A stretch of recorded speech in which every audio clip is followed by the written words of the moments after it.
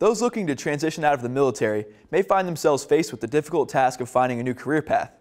Fleet and Family Support Center offers classes to help those looking to transition from the military to the private sector or even a federal job.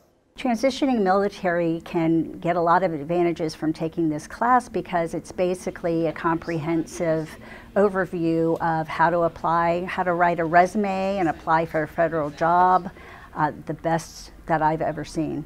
I love giving this class because it really does hit the nail on the head as far as what you need to do to be successful in the federal job market. And it also helps you create a master resume and a resume for the private sector as well. If you would like to learn more about this program and others offered, visit the Fleet and Family Support website.